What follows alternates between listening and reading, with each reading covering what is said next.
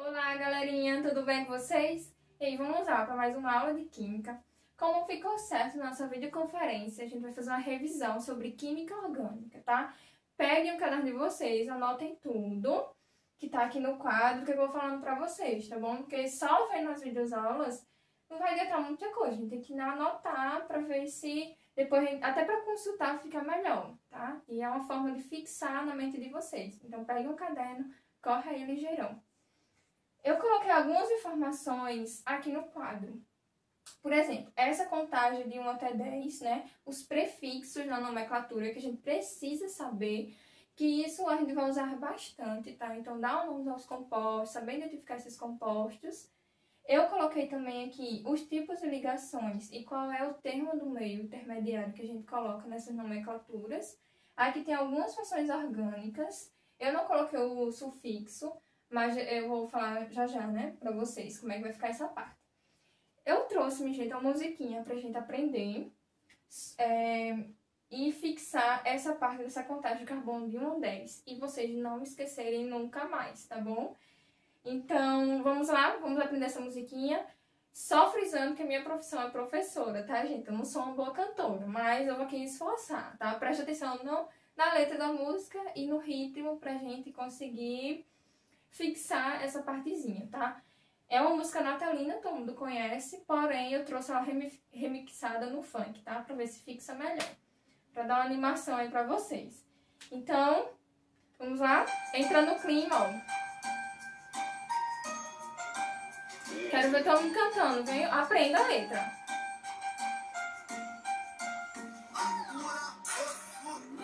Match é um, Etch é dois, Propri é três, Boot é quatro, Pente é cinco, X é seis, Ept é sete, Oct é oito, Non é nove, Deck é dez, mais uma vez, cantar com vocês. Pronto? Minha gente, é bem facinho. Simples, simples, simples. Se eu, se eu conseguir, vocês vão conseguir também, tá? Então, vista essa bela canção, vocês aprendendo, segue aí o ritmo, né? É só, é só ir cantando de acordo com aqui o número. Vocês treinando as cinco vezes se dá certo.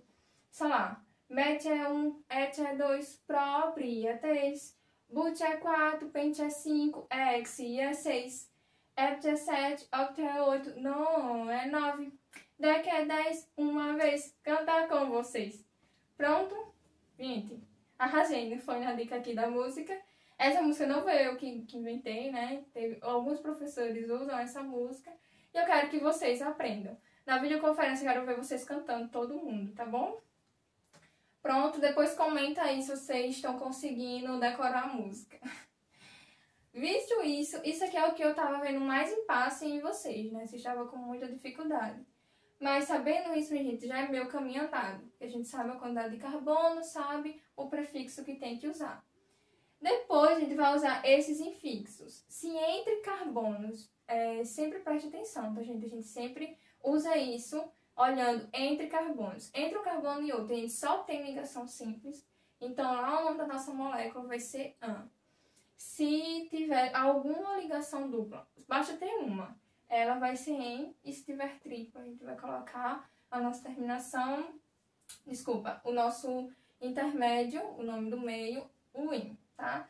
E aqui temos algumas substâncias orgânicas, não são todas, como eu falei para vocês, que eu ia colocar as que a gente mais utiliza, tá? Mas eu quero que vocês revejam todas, façam um quadro no caderno de vocês colocando todas elas. Então, destaquei aqui pra gente o álcool, tá? Que tem o radical OH, gente, essa parte do radical é muito importante, porque a gente tem que identificar nos compostos orgânicos, a gente já respondeu algumas questões e vocês viram que a gente tem que ter essa noção, tá? Então, o álcool vai ter o radical OH, anota aí no caderno, álcool, o radical OH, enol também vai ter o radical OH, porém ele vai estar ligado a um carbono que tem ligação dupla, tá vendo? Esse hidroxilo está ligado a um carbono está fazendo ligação dupla com o outro carbono, tá? Na cadeia aqui. A gente tem o fenol, que vai aparecer o benzeno pra gente, junto com a hidroxila, então é muito fácil identificar. Acetona, o que a gente tem? Uma carbonila, o carbono fazendo dupla ligação com o oxigênio. O éter, que a gente vai ter o oxigênio entre dois carbonos, tá, minha gente? ele vai estar no meio da cadeia. Então, para um lado a gente vai ter carbono, para o outro também. O éster, que a gente vai ter um carbono fazendo dupla ligação com o oxigênio e uma simples com o outro oxigênio, tá? E sempre carbono, tanto de um lado quanto do outro, tá? Então, veja a diferença, né? Acetona vai ter a carbonila, vai ter a entre carbonos. Sempre os radicais vai ter uma diferença, pode ser parecido, mas vai ter uma propriedade específica, né? O aldeído tem a carbonila, o carbono fazendo dupla ligação com o oxigênio, só que esse carbono está fazendo uma ligação com o hidrogênio, tá? Esse é radical para aldeído. Ácido carboxílico vai ter um carbono fazendo dupla ligação com oxigênio e vai ter um OH aqui, a outra ligação do carbono. A amina, a gente vai ter três tipos de aminas, tá? Amina primária, secundária e terciária. Aqui eu representei uma terciária, tá? O N vai estar tá entre carbonos, tá? Mas poderia também estar tá entre, tá ligado a um carbono o resto ser hidrogênio. A amida vai ter também a presença do nitrogênio, porém vai estar tá ligado a um carbono que vai estar tá fazendo uma dupla ligação com o oxigênio, vai ter um, uma carbonila, tá? Ligada a esse nitrogênio. E vamos ter aletos orgânicos, que vai ser a, nosso, a nossa cadeia normal, com carbonos e hidrogênios. E no final, ou no meio, a gente pode encontrar flúor, cloro, é, o bromo e o iodo. Esses três tipos de elementos, quatro tipos. Então, eu coloquei aqui alguns exemplos para a gente ter essa noção melhor de como dar um nome. Como eu falei para vocês, aqui eu destaquei apenas os radicais, tá? Mas eu quero que vocês, no caderno de vocês, coloquem como é que se dá o nome da a nomenclatura destes compostos. Por exemplo, o álcool vai ter esse radical, mas qual vai ser o sufixo na hora de a gente dar o nome a essa molécula? O, no, o sufixo do álcool é ol, tá? Então vocês vão fazer uma tabelinha e colocar ol. Como é que a gente dá o nome de uma acetona? E aí, eu quero saber, vocês colocam lá. Do éter, do éster, aldeído, qual é a terminação? amina, amida, tá? Eu quero que vocês façam toda a tabelinha com todas as nomenclaturas de cada um, tá? Nos vídeos anteriores, nas nossas aulas, vocês também conseguem encontrar, porque eu representei todas elas, comentei e dei exemplos de como dar o nome de cada função dessa, tá? Então vejam aí e, e coloquem no caderno, deixa isso anotado, gente, tá? Vamos lá, eu coloquei aqui alguns exemplos para a gente visualizar melhor e tirar nossas dúvidas, né? De como dar um nome a esses compostos, tá? Uma nomenclatura muito importante. Então, eu representei aqui um exemplo 1, tá? O que, primeiro, gente, quando vocês é, verem uma molécula, vocês têm que prestar atenção nos componentes dessa molécula. O que, que a gente tem aqui que a gente pode encontrar que é de diferente? Olha, a gente vê uma ligação dupla aqui, a gente tem um OH aqui. Então, eu já tenho que ter essa noção. Se eu tenho um OH aqui no final, é, eu já sei qual é o tipo de função orgânica que está representado ali. É um álcool, tá? É a prim nossa primeira é, função orgânica até que a gente já viu. E eu vi aqui que tem uma ligação dupla, então na hora de dar um nome essa molécula tenho que ter um pouquinho de cuidado. Lembra que eu falei para vocês que a gente tem que sempre enumerar a cadeia principal, que vai ter uma preferência de onde a gente começa. Então, nesse caso aqui, a gente vai dar preferência sempre onde tiver a ligação, a ligação não, desculpa, sempre onde tiver a função orgânica. Então, esse carbono aqui vai ser o carbono 1, esse carbono 2, carbono 3, carbono 4, carbono 5. Então, a gente tem uma molécula que é um álcool, tem uma ligação dupla, que tem 5 carbonos, beleza? Vamos dar o um nome. O que, que a gente faz? eu, eu coloquei aqui o nome equivocado. A gente tem cinco carbonos. Então, a gente vai ter o nosso prefixo, o quê? Pente. A gente já coloca ali, pente. Agora, a gente tem que ver o, o tipo de ligação que ela está fazendo. Ela está fazendo uma ligação dupla. Eu sei que é em. Só que eu tenho que identificar onde está essa ligação dupla. Olha aqui, tá entre o carbono 2 e 3 a gente sempre prefere colocar o menor valor do carbono, tá? Então, seria o carbono 2 em e o final ol, que esse ol está indicando que é um álcool. Pronto, gente, é bem simples, tá? Cada coisinha que a gente for encontrando, a gente vai colocando, tá? Pente em carbonos, o 2 em, porque a ligação dupla está no 2, e o ol porque ele é um álcool. Simples, fachada isso aqui, né? O exemplo 2, o que, que a gente vai ter? Vai ter uma molécula e tem esse final aqui, esse radical. Eu tenho que saber identificar esse radical, gente. Olha aí rapidinho o que, que a gente tem. Um aldeído. Olha, tem uma carbonila, só que esse carbono está fazendo uma ligação simples com o hidrogênio. Então, temos aqui um aldeído. Já classificamos e temos que ter a noção também qual é, como é que a gente dá um nome para esses compostos. Então, a gente vai ter aqui a nossa cadeia principal, que é composto pelos carbonos, tá? O carbono 1 vai ser aquele que vai mais perto da função orgânica, esse aqui, né, que faz parte da função orgânica até. São três carbonos, então vamos lá começar a dar um nome, dar um nome a esse danado.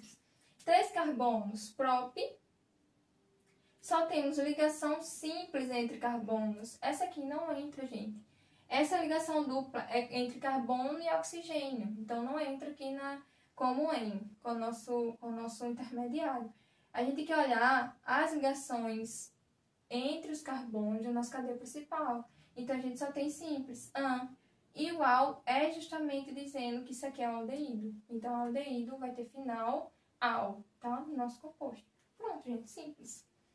O próximo que a gente vai ter essa estrutura aqui, e o que, que a gente consegue observar de diferente? Que, que temos carbonos e hidrogênios, beleza? Isso aqui vai ser uma cadeia carbônica. Só que o que a gente observa, ó, flúor e bromo. Qual é o tipo de função orgânica que a gente tem aí?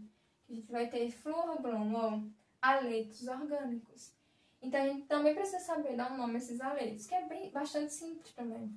A gente coloca o nome do elemento que vier. Então, em ordem alfabética. Então a gente vai ter aqui. É, por onde a gente começa a contar os carbonos, primeiramente? Por aquele carbono que tiver com a função orgânica. Um, dois, três. Então esse carbono vai ser o carbono 1. Um. Se a gente começasse daqui, a gente teria a função orgânica no carbono 2. Então, para a gente seria mais, é mais interessante começar por esse lado.